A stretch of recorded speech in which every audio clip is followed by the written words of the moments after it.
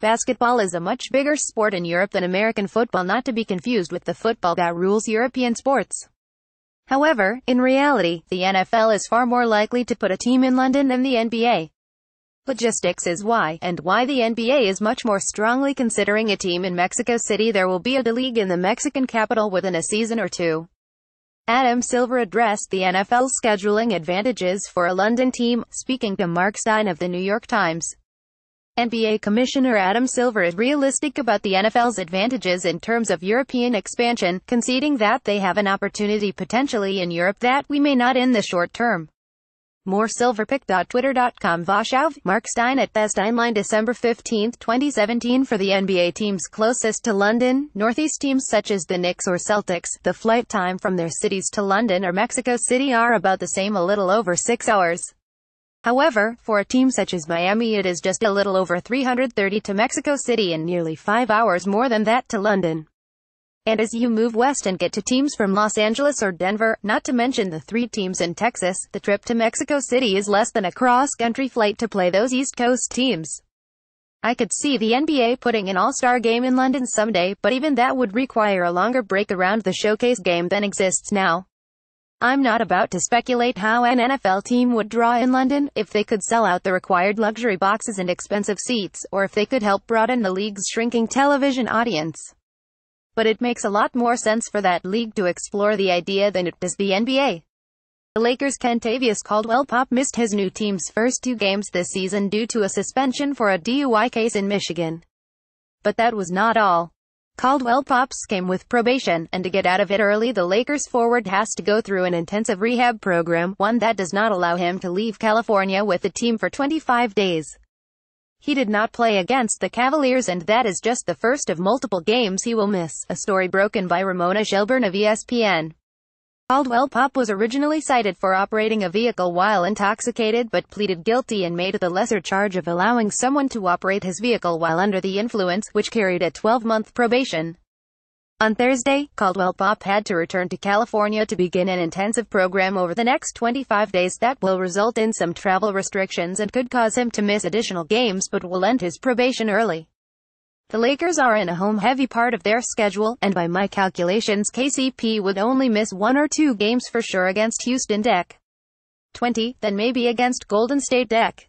22, but that is in California. The Lakers' next road game after that is December 31st in Houston again. Caldwell-Pope signed a one-year, $18 million deal with the Lakers last off-season, and he has gone on to become one of the few reliable three-point shooters on the team, hitting 36.1% from beyond the arc, taking 6.1 shots from there a game. He's been solid on defense and a player the Lakers need, although his overall efficiency is closer to average. If the Lakers are successful with their big game hunting during free agency next summer, Caldwell-Pope will not return to the team. In a tight free agent market, he may once again not see offers near what he sees himself worth next summer.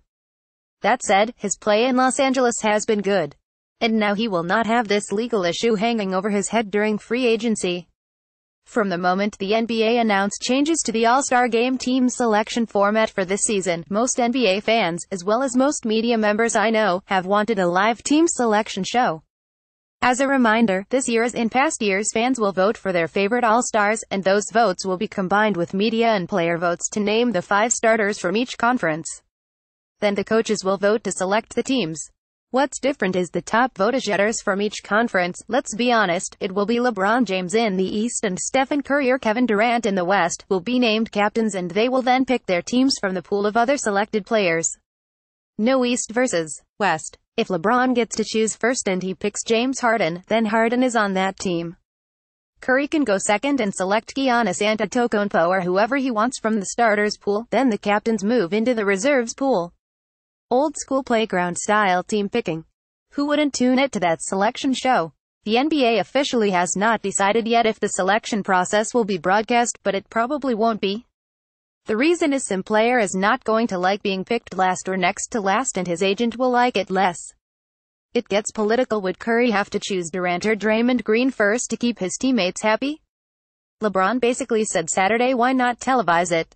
From Nick Friedell of ESPN, when LeBron was asked if it would bother him to go against teammates in the All-Star game, I hope not, James said after Saturday's shoot-around. We're all grown men. It doesn't stop their paycheck from coming. It won't stop you from playing time once the season starts. And is he good with the pick order being made public or done live? It doesn't matter to me. James said, It doesn't matter. At the end of the day, if I'm rewarded to be a part of the All-Star game again, that's cool for me. It doesn't matter. All that other stuff is extracurricular. That's the right attitude, and whoever got picked last would say that publicly. But privately, who knows?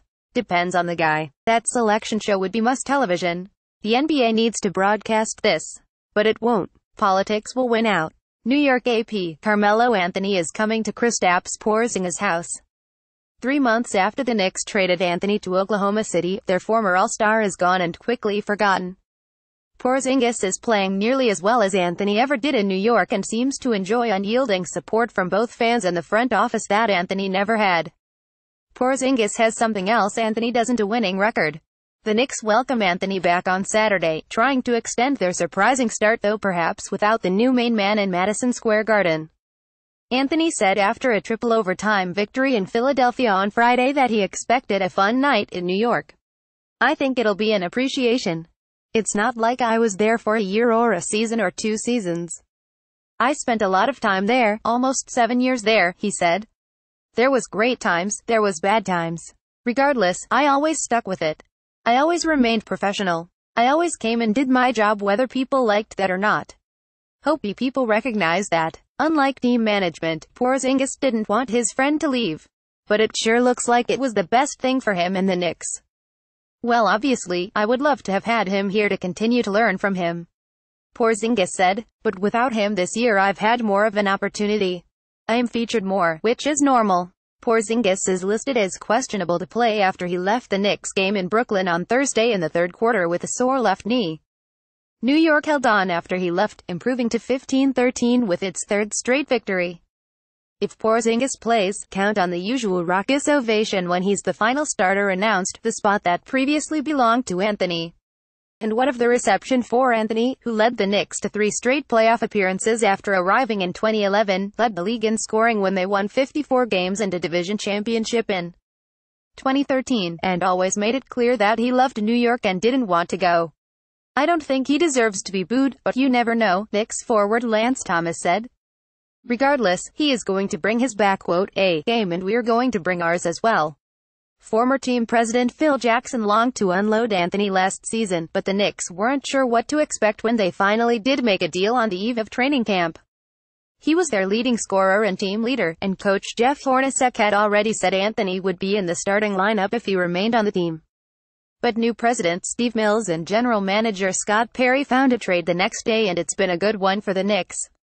Enes Kanter is giving them 13.4 points and 10.3 rebounds a game as the starting center while providing positivity that for years rarely existed in the home locker room. Doug McDermott is bringing another 8.5 points a night off the bench. Anthony is struggling right along with the Thunder, a top 25 scorer in NBA history potentially on his way to the worst season of his career.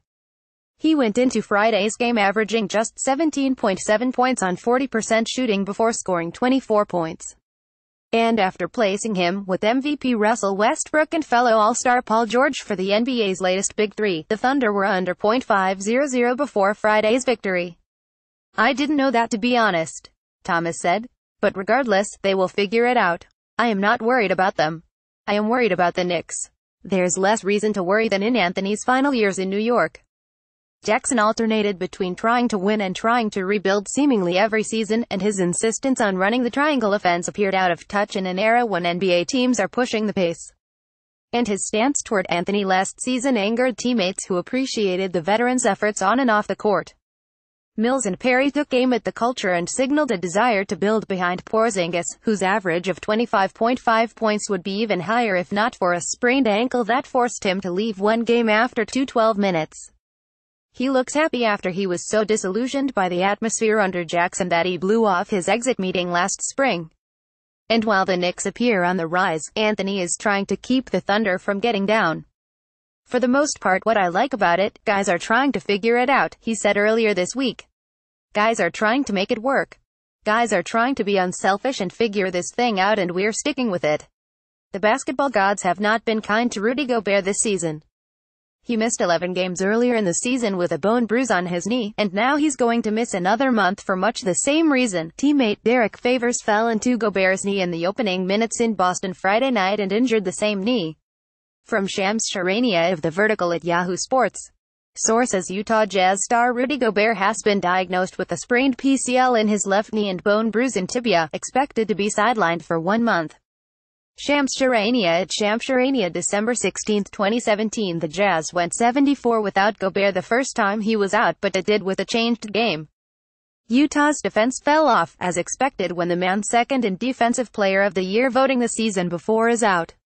However, Favors moved over to center and provided more offensive options that opened up the floor for the Jazz, and also, rookie Donovan Mitchell broke out as a playmaker and scorer. Utah had a top 10 offense in the games Gobert missed earlier in the season.